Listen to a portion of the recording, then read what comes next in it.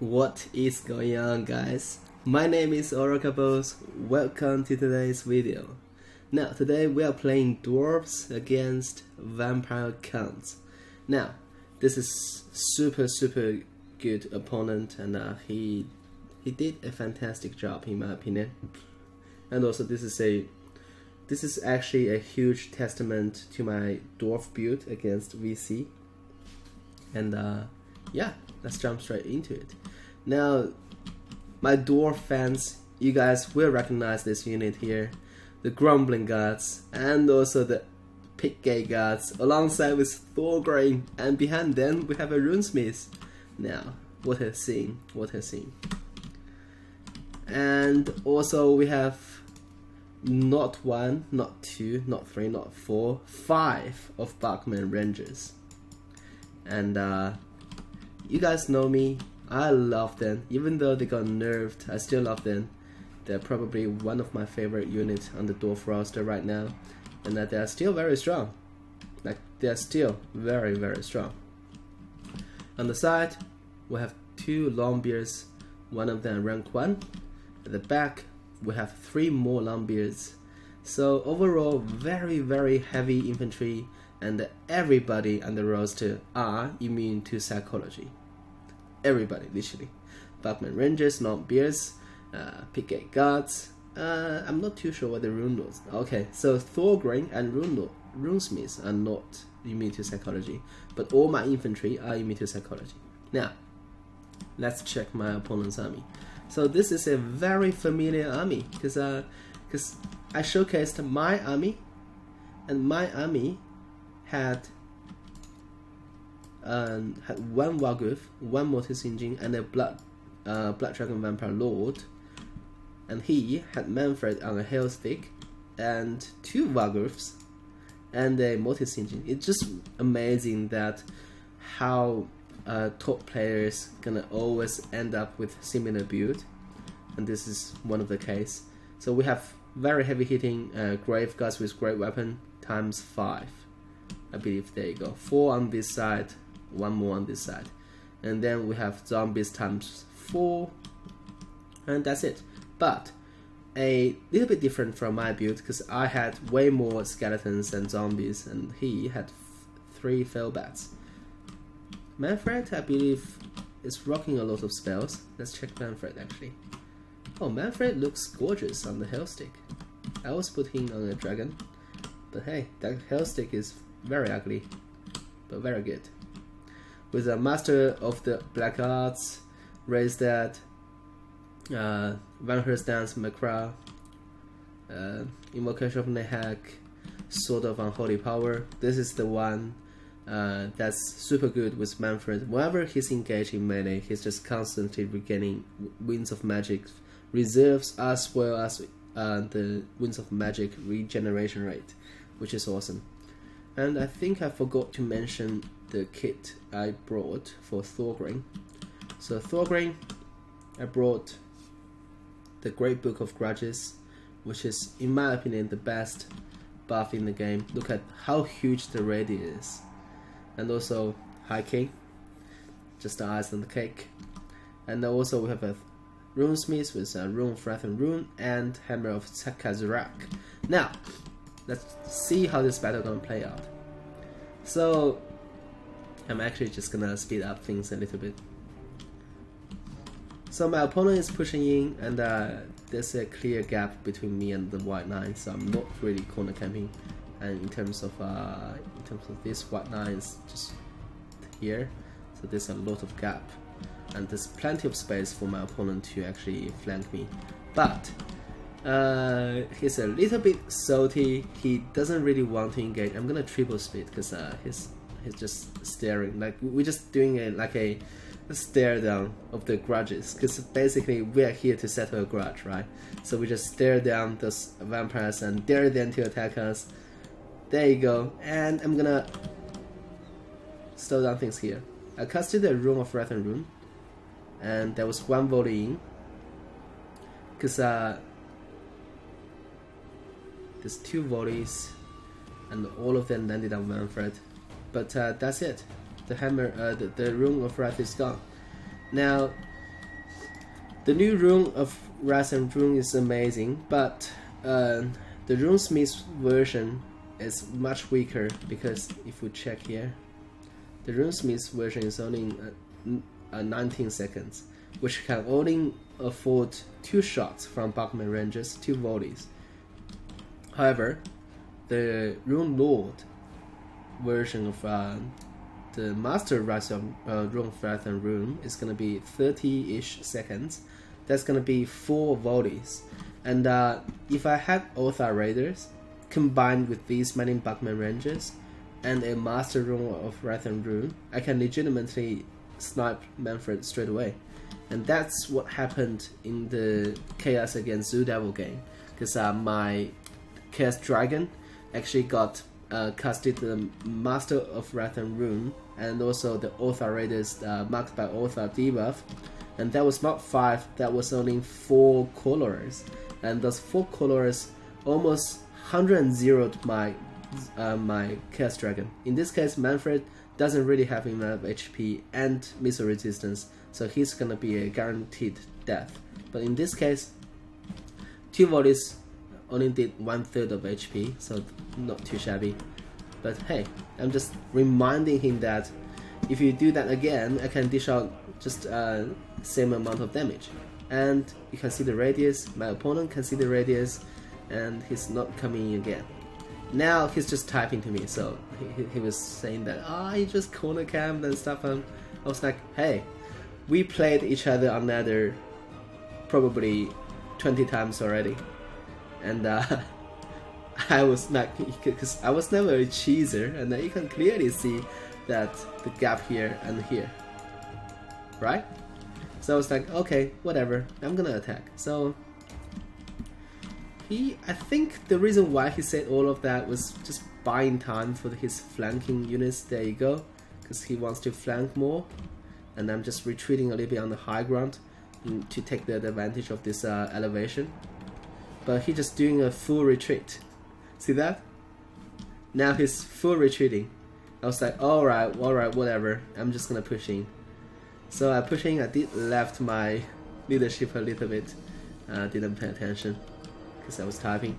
But I'm just gonna triple speed. And I was like, okay, I'm coming. I'm coming in the center. And I'm actually offering my back, the entire here, to, to your force to flank me and attack me in the rear. Like, I'm okay with you doing a full surround. And I'm just gonna sit here and take it like a like a dwarf. Because uh, this is actually a huge testament to my dwarf build. Because uh, normally I would love to uh, push to engage, but here my opponent is actually, actually taking all the time he needs to set up a perfect savage. Uh, I believe I'm gonna let him. I don't know. Like, I'm not too sure what's gonna happen next. Uh, I think I'm about to push in a little bit. There you go. I'm shooting at. So pay attention here. I'm actually shooting at those uh, grave guards with great weapon because they have no shield. They are super vulnerable to missile fire. And now my opponent is gonna be attacking. I think because uh, these guys are under constantly uh, the the Bugman Ranger color fires, The expo fires. But uh, looking back at this replay, because right now, instead of waiting for him to set up, I actually need to just push in and uh, start to use my uh, use my Bugman Rangers to damage those uh, Grave Guards with Great Weapon. I just need to push in everything this side to basically make him uh, take more time to flank me. But uh, on the ladder, uh, at that moment, I didn't really think that much, and I, now it's quite obvious I made a huge mistake. Now, this is what you shouldn't do as dwarves. You need to engage, force engage with your range, but I didn't. Whatever. So two uh, Bugmans shooting at each of the, actually three of them shooting at these units. So those Grave Guards with Great Weapon is gonna take a lot of damage while coming in. But looking, look at how beautifully set up my opponent did. All the bats, Mannfred coming at the same time, and uh, you know, one summon skeleton unit on the Bugman, and uh, all the bats are occupying different units, but check out here. There's another actually I think I wasted a hammer of Cataract onto him. I shouldn't do that. But there's a rune casted onto him and all my colors are firing at him. But uh, it's a shame that all of them got occupied except one unit here. Because uh, that's gonna be so devastating onto the Mannfred if if maybe another unit got freed. But uh, hey, that's a lot of shots. And Mannfred is down. Like even he casted an invocation of Nehek, he's also just basically get pinned down very hard here. And uh, these guys are no match to my Longbeards at the back. But the Varghulf is gonna be amazing at killing killing those hammers. But I did assist this blob with uh, Thorgrim and Runesmith. But looking back, I think the bad thing right now should I should cut save that Hammer of Kazurak and cast it onto one of the Varghulfs. Like that's just a waste of uh, uh, waste of my ability uh, casting that onto Mannfred. Like, look at that. The Hammer of Kazurak can actually last 50 something seconds, and which is going to be huge against the Varghulfs here. But hey, bats were no issue uh, for for my Bugman Rangers. And uh, Skeleton Warriors, I'm I'm not gonna cut it against Bugman Rangers either. And now I am focusing on killing Mortis Engine. Because right now I need to identify the biggest threat. And the biggest threat right now is this Mortis Engine. Because uh, the Varghulfs, I can grind them down in melee. Mannfred on a Hellsteed without uh, the rune, I, am not gonna snipe him. He's just, he's just gonna dance around and dodge my arrow fires. So right now, the best target is the Mortis Engine, and I'm targeting it. And he's actually taking a lot of damage, as you can see here. And also, look at those Grave Guards just die to my Grumbling Guards, amazing. And also, these Grave Guards gonna die to my Hammers in no time. And now, like, here I'm also fine, because uh, this Bugman Rangers has uh, charge bonus against large, uh, charge defense against large. So which means the Varghulf charging in is not going to do any impact damage. And also Bugman Rangers are uh, okay-ish melee fighters, because right now there's nowhere to run. Like, if I, like, the best thing right now is to just basically stay here and tank it, and just fight those Varghulfs in melee, because all of these units are immune to psychology, so they're just gonna fight. And here, at the same time, I just need to spam click onto the Mortis engine because one of the trick for uh, one of the trick for um, dwarves are that if you force uh, fire while in guard mode, you can actually fire while being occupied. And now I think I'm about to cast another hammer onto him. That's why I shift the target to Mannfred. not too sure. I think this is gonna be a uh, I think that's the waste of time. I need to definitely... Uh, yeah, there you go. So I tried one volley, didn't work out, so I'm switched back to the Mortis engine now. Alright, so Mortis engine got forced out, because uh, he has to. And here, look at that. One of the Grave Guards already disintegrated. Amazing. Grumbling Guards are winning as well. And there's another hammer. I, I really try to just use my uh, not hammer, the Rune of Wrath and Ruin to snap Mannfred. Uh, which is gonna buy me two more volleys, but I'm not too sure whether two more volleys can cut it. Right now, all these units are freed up, so they're gonna come back and fight. And now I need to reposition my Bugman Rangers a little bit because they are a little bit depleted.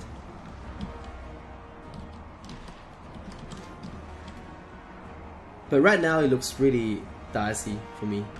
Because I'm still trying to get Mannfred down, but uh, I, I really think I should focus on Mortis Engine now. Because uh, right now those Varghulfs are doing ma some major damage uh, in a grand situation against my Bugman Rangers. But uh, once my Lomb is pushing in, I think I'll be fine dealing with them in melee and um, uh, right now is the the moment that I am a little bit um, not sure because uh, my range units are all very beat up, very depleted, and uh, I'm not too sure whether I'm gonna holding on here. and I still have all these lists needs to clear out.